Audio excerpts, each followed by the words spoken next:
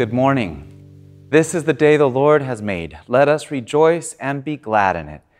Welcome to worship with Anaheim United Methodist Church. I am Pastor James Dollins, and it is a joy to be in worship with you this morning.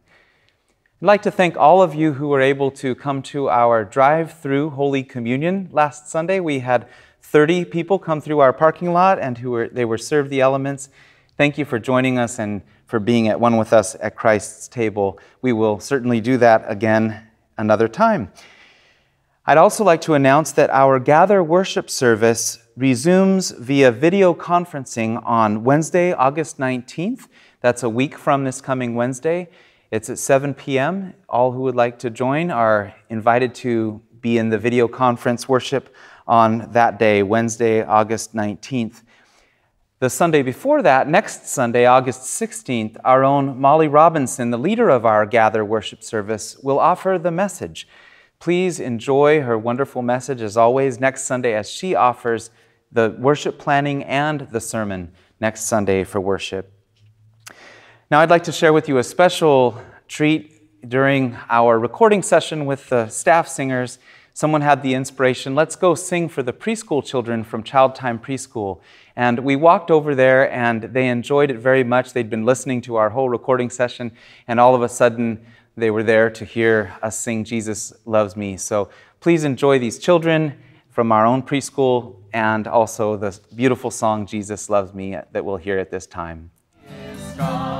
Yes, Jesus loves me. Yes. Yes, Jesus loves me. The Bible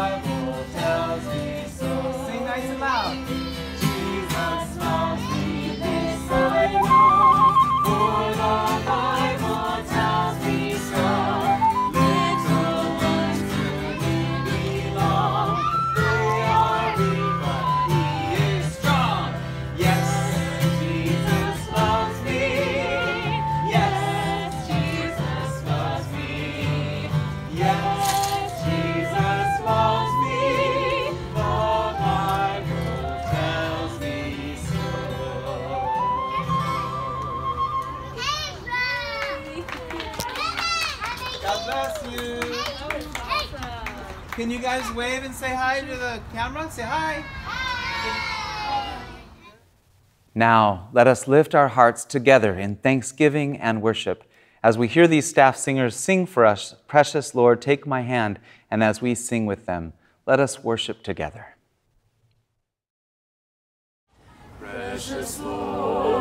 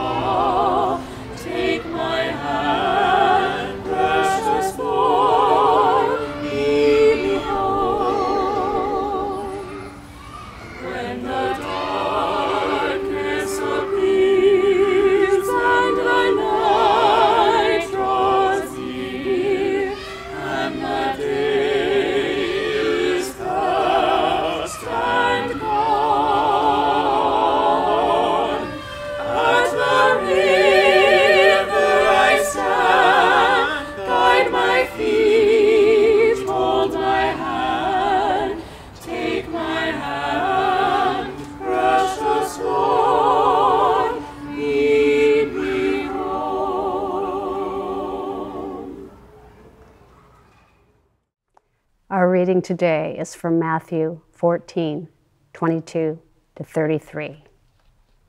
Immediately, he made the disciples get into the boat and go on ahead to the other side while he dismissed the crowds. And after he had dismissed the crowds, he went up the mountain by himself to pray. When evening came, he was there alone. But by this time, the boat, battered by the waves, was far from the land, for the wind was against them. And early in the morning, he came walking toward them on the sea. But when the disciples saw him walking on the sea, they were terrified, saying, It is a ghost. And they cried out in fear. But immediately Jesus spoke to them and said, Take heart, it is I. Do not be afraid. Peter answered him, Lord, if it is you, command me to come to you on the water. He said, Come. So Peter got out of the boat, started walking on the water, and came toward Jesus. But when he noticed the strong wind, he became frightened, and beginning to sink, he cried out, Lord, save me. Jesus immediately reached out his hand and caught him, saying to him, You of little faith, why did you doubt? When they got into the boat, the wind ceased, and those in the boat worshiped him, saying, Truly, you are the Son of God. Please pray with me before I offer a message this morning. Gracious, loving God, may the words of my mouth and the meditations of all of our hearts be pleasing in your sight, O God, our rock and our Redeemer. Amen. We continue this Sunday morning with our lessons on the Gospel of Matthew and lessons about discipleship, what it means to follow Jesus. Today, Jesus teaches his followers to walk on water. And really, he teaches us to trust that we can walk with God, even in the midst of storms, even when life becomes overwhelming to us. This story, of course, follows the story from last week, which is the breaking of the bread and feeding of the 5,000. After this story, it says that Jesus went away by himself to pray, and he sent his disciples off in a boat to continue their ministry. Jesus did not have long to pray on that mountain by himself because realizing that there was a storm coming, he went down to help those disciples and he came to them walking upon the water along those waves and he came to the boat where they thought he was a ghost and suddenly they saw that it was the Lord, and he said, Take heart, it is I. Do not be afraid. This story is powerful for any of us who are going through life experiences which create a perfect storm. We might say that our world knows a little bit about this in these days between coronavirus and racial strife in, in our country and those divisions among us, not to mention the hurricanes that we are experiencing this week and the fires in Riverside County, it seems like everything is falling to pieces. And yet, Jesus comes to us saying these words Do not be afraid, it is I. His real words, of course, in the ancient language are I am. Take heart, I am. These, this is the true translation in Greek for it is I. And these are the same words that God would have used in the burning bush when he spoke to Moses. I am. In other words, God is with you. Never lose sight of the fact that God is with you, however disorienting and troubling your circumstances might be. And yet, we all fall into circumstances where the storms overwhelm us, where we seriously doubt we're going to make it. This story reminds me of a family vacation that we took to Lake Tahoe. We had two inflatable boats during that trip. Uh, our sons were 10 and 9 years old, and my wife and I sat in the other boat. We decided we would take off from shore, and I had always, since I was a child, wanted to go to Emerald Bay, the beautiful green bay of Lake Tahoe that's so hard to get to because you can only drive along the road that's high above that bay. I decided we can finally go there. We can paddle there on these boats if we just go far enough. Well, we went very far. It was a terribly long trip. And as we went, I realized that this was much farther than we'd expected. What's worse, when we arrived at Emerald Bay, the water was not green at all. It was turbulent and there were waves. We couldn't see any color in the water. And as we were coming back, the trip was difficult. The wind was against us. It was much farther than I had anticipated. This is one of those trips where the father becomes the villain in the story. And as we were continuing on, we realized that we could get there faster if we cut across the deeper parts of the lake. And as we were going across that part of the lake, our older son, Forrest, uh, jumped out to swim for a little while, and this attracted the attention of a patrolman driving a boat across the lake. He said, No one is supposed to be swimming in these deep waters. Did you realize that these waters where this boy is swimming are over 75 feet deep? I wasn't aware of the exact depth of the lake at that point, but he quickly made us aware that we should all be wearing boating gear and life preservers out at that depth, and that if we tried hard, we could sail, row all the way back to the shore where we started. So he was kind enough to lend us life preservers. We put those on. He said, You can um, return those to us tomorrow at the ranger station when it opens. Also, here is a citation and a fine that you will have to pay as well. So we here are some images, first of all, of the beginning of the trip with the, the shoreline where we started, and then the, the brave crew paddling along uh, during that trip, and then finally uh, the result, the, the ticket and the reward that we received. Needless to say, the family unanimously felt, including myself, that we'd bit off more than we could chew. We were in over our heads. We were glad just to make it back alive. It became a great memory and a great story, but it's a story that we often encounter. Life circumstances, whether we get into those ourselves or because life just brings them to us, life circumstances which become a perfect storm and we become frightened by these winds. We become like Simon Peter, who at first wanted to walk with Jesus and become a wave walker like his Savior was, but then it says he started to notice the strong wind and he became, became frightened. And beginning to sink, he cried out, Lord, save me. And Jesus did save him and said, You of little faith, why did you doubt? Why did you take your eyes off of me? Why did you pay attention to the wind instead of the strength which would sustain you on these waters? Often we're tempted to be distracted by these many storms that surround us, or our own mistakes, our own failings, and our own failures, our own misguided adventures, like a trip across a giant lake in Northern California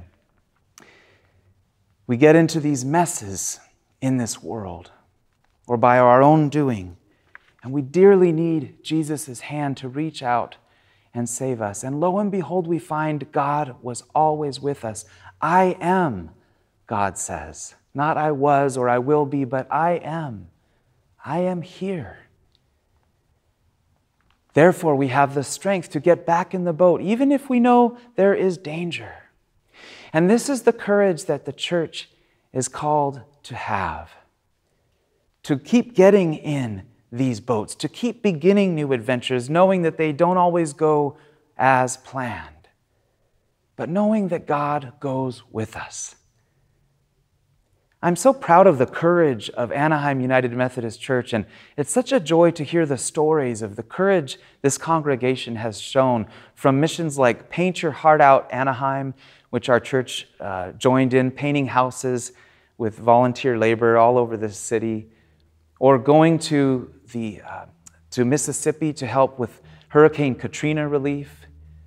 Our church has been quick to go on adventures of faith, or affording, starting affordable housing here in Anaheim, creating difficult projects, uh, building affordable housing that still houses many, many people who are in need in this community.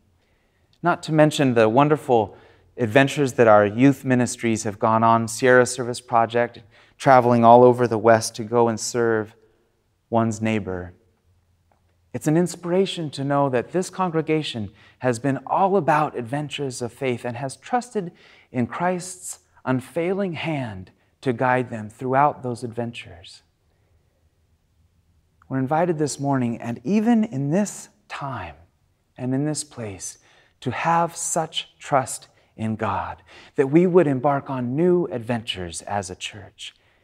That during this time we would dream God's dreams, that we would take time away, as Jesus did, to pray and to strengthen ourselves, but then to begin the next leg of our journey. Let us do so together. To conclude this service today, we will sing together a wonderful song. It's the Navy hymn for our nation's Navy called Eternal Father, Strong to Save. And today, Jiwon Lee will play this for us on the organ. It's such a gift, it will be such a treat. The first verse of this hymn says, Eternal Father, strong to save, whose arm has bound the restless wave, who bid the mighty ocean deep its own appointed limits keep. Oh, hear us when we cry to thee for those in peril on the sea. And the hymn concludes O Trinity of love and power, all travelers guard in danger's hour. From rock and tempest, fire and foe, protect them wheresoe'er they go.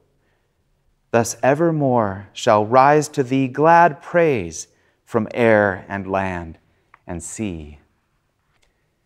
Wherever we go, let us continue to praise our God, trusting in God's protection God's guiding hand, and God's sustenance. Let us now enjoy a song that has been prepared for us by Jiwon and her daughter Lydia, who will sing for us Trust and Obey.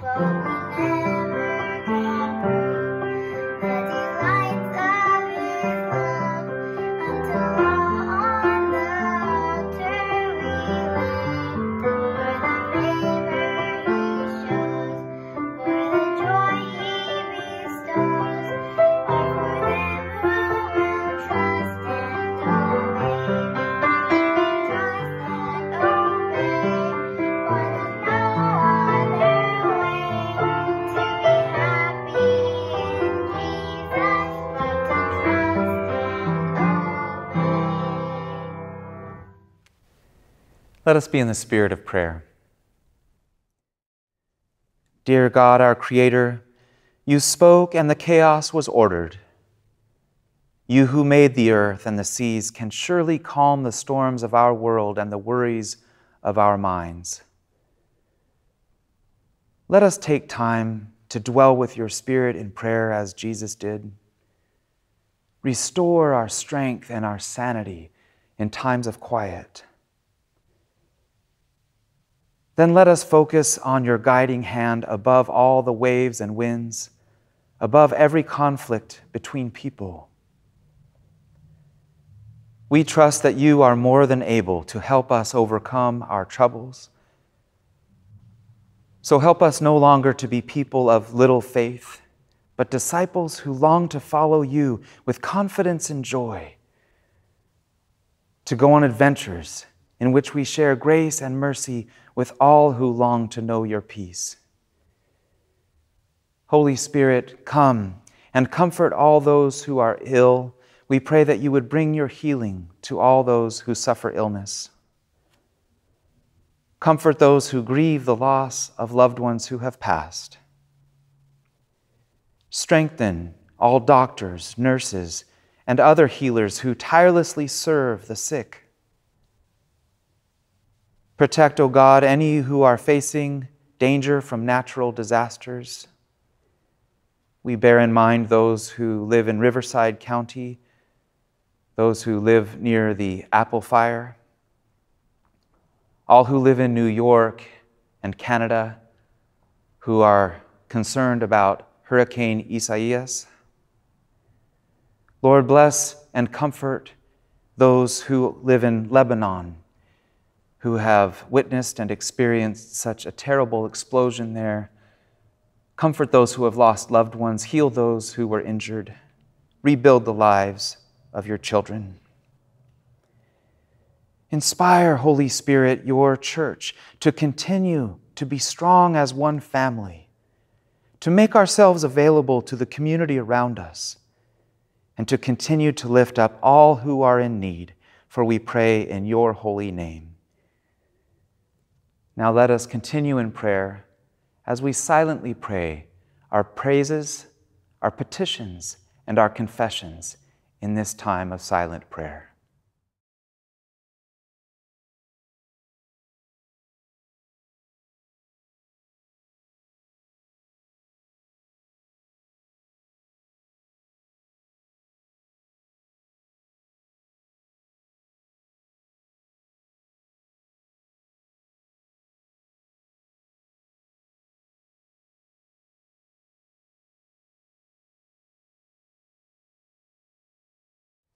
Now let us continue in a spirit of prayer as we give thanks to God for all of God's blessings, including the offerings which are so generously shared by all of you to support these ministries of the church and to keep us strong and alive, especially during these times. Let us join together in this blessing of the offering. Almighty God, who calms the storms of our lives, receive our offerings so that others may know your peace. May the gifts that we give and the works of our hands provide friendship to the lonely, provision for the hungry, and courage to all who are afraid. For we offer every gift in the name of Christ, our Prince of Peace. Amen. And let us join in the prayer which Jesus taught us to pray, saying, Our Father, who art in heaven, hallowed be thy name. Thy kingdom come. Thy will be done, on earth as it is in heaven. Give us this day our daily bread, and forgive us our trespasses, as we forgive those who trespass against us. And lead us not into temptation, but deliver us from evil. For thine is the kingdom, and the power, and the glory forever. Amen.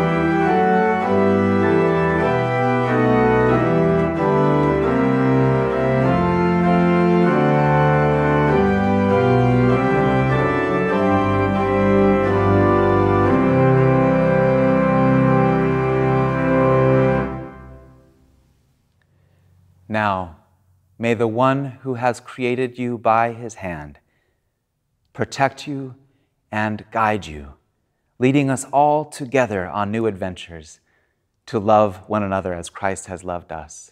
Go in peace. Amen.